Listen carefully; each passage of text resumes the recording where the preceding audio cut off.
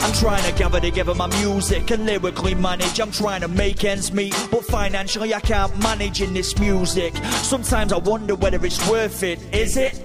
And that's the question I'm quizzing myself with. It's basic life through hip hop, using a mic as a utensil.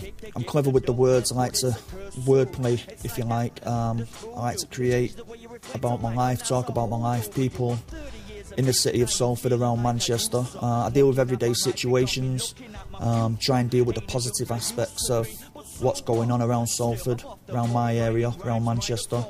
Um, feel good music, if you like, as well.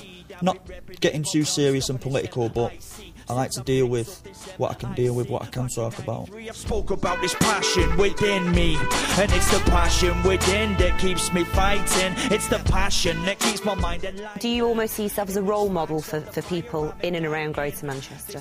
In a way, yes, because uh, being in the eyes of the public um, through hip hop as well, hip hop's got like a stigma attached to it um, with rap music since gangster rap and things like that many years ago. The younger people are going to look up to me and listen to my music and I, am trying to give that positive feel good aspect to them. I don't necessarily swear in my music, um, try and deal with it as clever as I can.